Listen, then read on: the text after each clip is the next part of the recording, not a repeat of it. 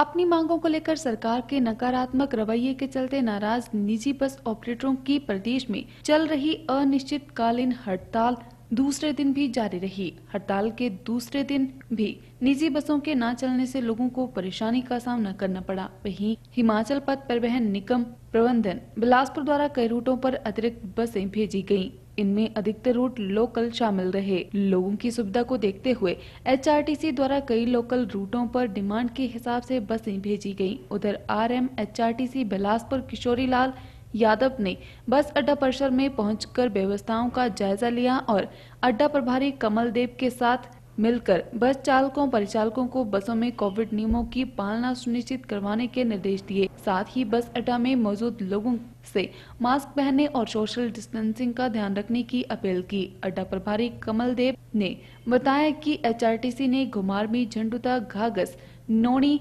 भगेड़ व स्वारघाट आदि में दो दो इंस्पेक्टर तैनात किए हैं, जिनसे लगातार संपर्क करके डिमांड के हिसाब से बसें भेजने की व्यवस्था की गई है बस अड्डा में बकायदा चार बसें अतिरिक्त खड़ी की गई हैं। यदि कहीं से कोई डिमांड आती है तो वहाँ उन बसों को भेजा जा रहा है हमने ये व्यवस्था बनाई हुई है जैसे हमारे रूट चल रहे हैं। प्राइवेट की हड़ताल है प्राइवेट बसों वालों की हड़ताल है।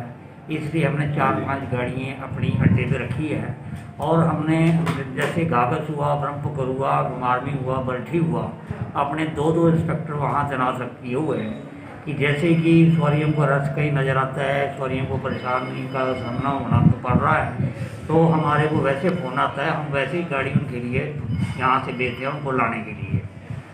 अपने अधिकारियों के निर्देशानुसार हमने हरेक ड्राइवर चालक प्रचालक को हमने राय दी है कि मास्क लगा के रखें सैनिटाइजिंग को दिए जाते हैं। और लॉसमेंट करवा के अड्डे की हम हरेक यात्रियों को भी मास्क लगाने की सूचना देते हैं।